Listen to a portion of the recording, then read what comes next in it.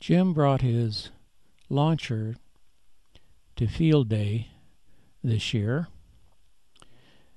And what he's going to do with it is he's going to launch a fishing line over the treetops so he can pull the line up, which will then pull up the antennas.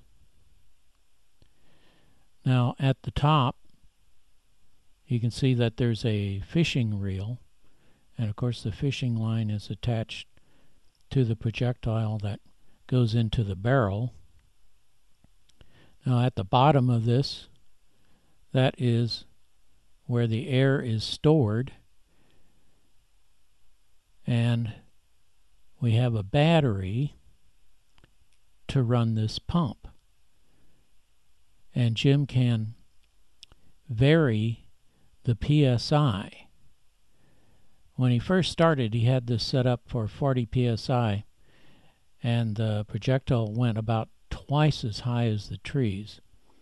What he ended up using was about 25 PSI, and that worked just great.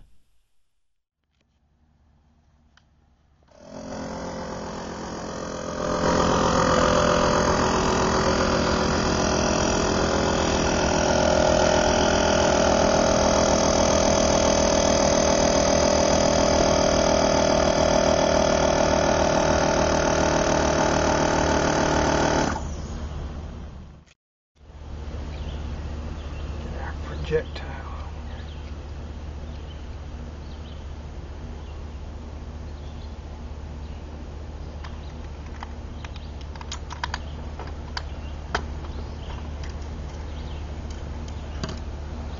All right.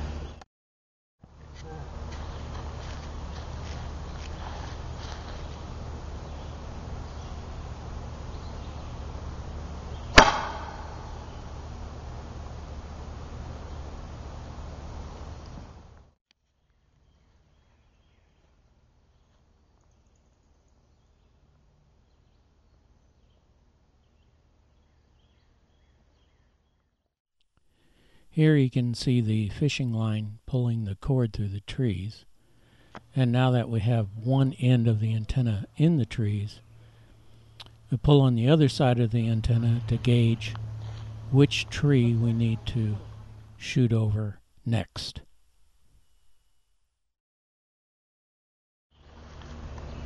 Reload.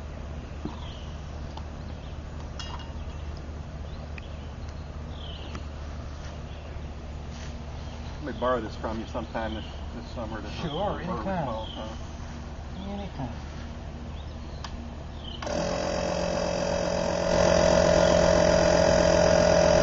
First time I put 40 pounds in it, it went about twice as high as the tree. Okay. And I got, and 30 was still too high. I got down to only 25 pounds. okay.